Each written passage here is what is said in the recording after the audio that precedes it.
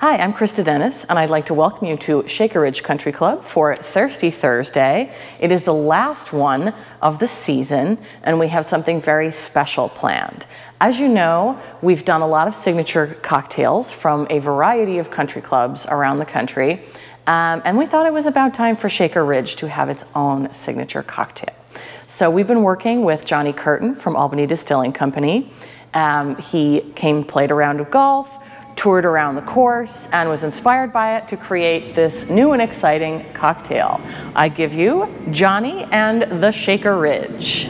Thanks, Krista. Uh, as she said, I'm John Curtin from Albany Distilling, and I'm going to talk to you about the Shaker Ridge cocktail. So I started off with a rye base. Um, this is the Ironweed rye that we make right up the road here at Albany Distilling. Rye is my personal favorite whiskey. Uh, it's also the I think, the best cocktail base as far as whiskeys go. It's got a nice spice to it that plays well with, with other drinks uh, or other, other ingredients. Uh, Ironweed is our signature whiskey, uh, and it's named after the William Kennedy novel of the same name. Uh, William Kennedy is a really former journalist and Pulitzer Prize winning author of Ironweed and a few other uh, Albany cycle books, they're called. Uh, Ironweed was, was famously made into a film with Jack Nicholson and Meryl Streep uh, and Tom Waits. It was filmed right here in, in downtown Albany and in the surrounding area. Uh, so there's a nice literary and, and generally, you know, uh, relatively well-known cultural tie to the name. And as a, a big fan of Albany myself, uh, we wanted to celebrate our rich cultural his history uh, with, our, with our whiskey. Um, so the rest of the, of the drink is based around, like I said, as Krista mentioned, the round of golf I played here, there are cherry trees growing wild all over the place, so I thought I'd incorporate a cherry element into the cocktail. And to balance that out, uh, I have some orange liqueur for a little brightness. And then because the orange liqueur and the cherry are a little on the sweet side, I thought some sweet vermouth would be a nice counterbalance to that. So it's essentially, uh, it's, a, it's a variation on the Manhattan. Um, that sort of integrates the, the classical, new, old-fashioned uh, ingredients of, of cherry and orange. So, without further ado,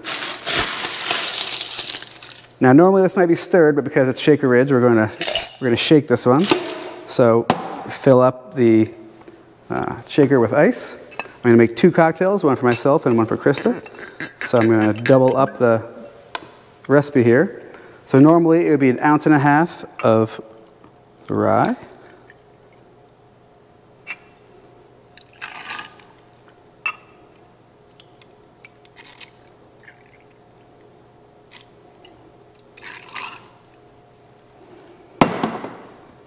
I'm going to do three quarters of an ounce, which I'll just double it to a single pouring of an ounce and a half of the orange liqueur.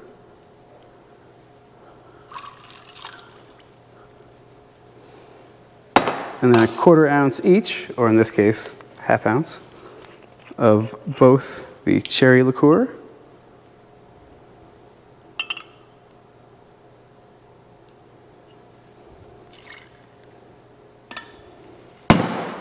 and the sweet vermouth.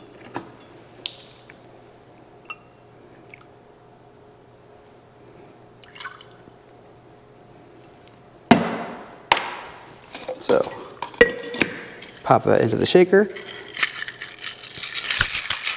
Science fact here, the ideal shaking time is 17 seconds. That's how long it takes for the ice and the liquid itself to reach equilibrium in terms of temperature. I was talking, so I lost count, so we'll say that's exactly 17 seconds. Pop that off.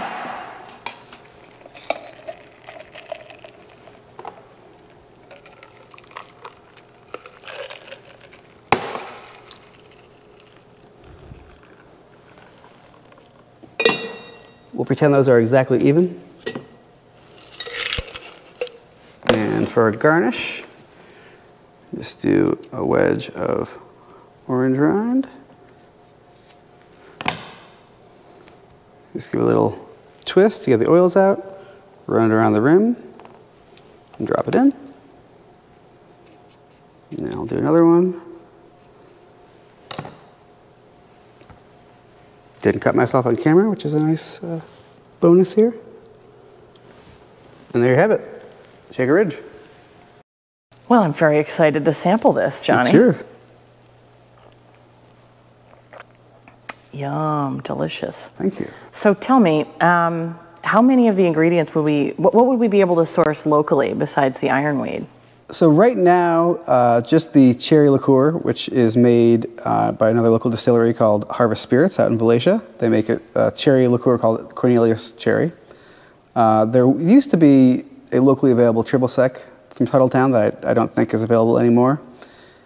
And vermouth is kind of hit or miss. Um, there are a couple New York State vermoutheries, uh, but they don't distribute much up here, unfortunately. They're, they're pretty limited. Um, so between two and four, depending on how lucky you get. Excellent. And well, we don't grow oranges around here, but they're, uh, they're a perfect, perfect garnish for this drink. Indeed. Excellent.